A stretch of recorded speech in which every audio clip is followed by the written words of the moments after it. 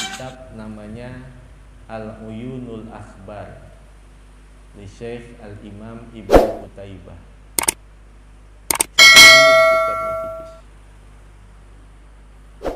Sumiyat Nuhun Nuhan Minna hayanuhun nauhan nawahan wa niyahatan. Bimakna katratil buka. Nabi Nuh dipanggil Nuh karena terambil dari akar kata nahayanu hunauhan nawahan waniyahatan artinya kasratul buka. Orang yang banyak nangis kepada Allah penyebabnya di satu hari ketika dia jalan ada seekor anjing. Yang anjing itu sekujur badannya dipenuhi dengan penyakit gudigan Nabi Nuh ngomong kagak tapi badannya kemigilan. Kenal apa kagak kemigilan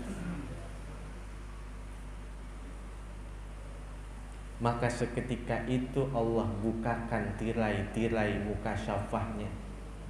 Anjing itu berkata dengan ucapan yang fasih wahai Nuh seandainya aku memiliki keinginan dan pilihan tentu aku pun tidak akan mau diciptakan seperti ini. Kalau saya punya pilihan tentu saya juga pengennya jadi manusia kalau saya punya pilihan, tentu saya ingin menjadi orang yang mulia, nggak mau jadi anjing begini. Lalu dia bacain tuh firman Allah Subhanahu wa taala. Wa rabbuka yakhluqu ma yasha'u wa yakhtar maka lahumul khiyarah. Tuhanmu yang menciptakan segala keinginan dan pilihan yang ada di dalam hatimu. Maka nalahumul khiyarah. Manusia nggak punya keinginan manusia nggak punya pilihan. Kalau mereka punya keinginan di hati itu keinginannya adalah keinginan Allah. Di hati ada pilihan maka pilihan itu adalah hakikatnya pilihan Allah maka lahumul khiyarah. Manusia nggak punya keinginan. Manusia nggak punya pilihan. Nangis Nabi Nuh. Bahasa kita diomelin sama anjing.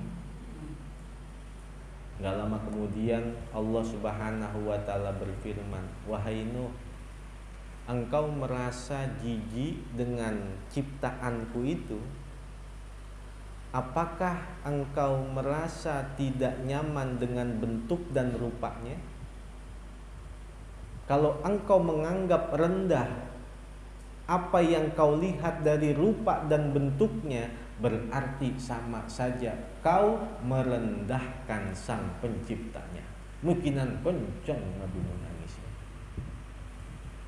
Lalu Nabi Allah Ibrahim disebut dengan Ibrahim karena ada satu pendapat yang mengatakan abun rahim.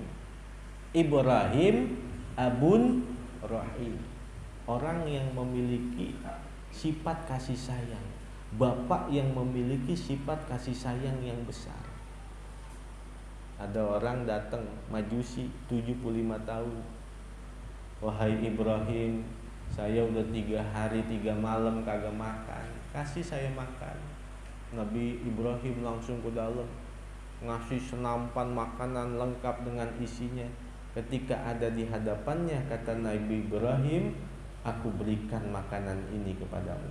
Dengan syarat kau tinggalkan agamamu penyembahan api ikut kepada agamaku. Gak lama kemudian Nabi Ibrahim menangis sejadi-jadinya ini yang disebut dengan bab hasanatul abrar sayyiatul muqarrabin. Nangis Nabi Ibrahim. Orang Majusi itu bingung. Wahai Ibrahim, Kenapa kau menangis? Sedangkan makanan itu masih ada di tanganmu. Allah Subhanahu wa taala menegur aku dengan teguran yang keras. Kata Allah, "Wahai Ibrahim, engkau baru akan memberikan makanan kepada seorang hambaku. Engkau mensyaratkannya pindah agama," kata Allah. Padahal engkau baru akan memberikan makanan engkau mensyaratkan kepada hambaku itu pindah agama aku kata Allah 75 tahun ngasih makan sama dia tidak pernah mensyaratkan kepadanya untuk pindah agama. Mendengar cerita ini gantian nih orang majusi nangis sejadi-jadinya. Dan spontanitas dia berkata saya masuk ke dalam agamamu wahai Ibrahim. Itu maknanya la ikroha fiddin ay la dina fil ikroh ada paksaan Dalam.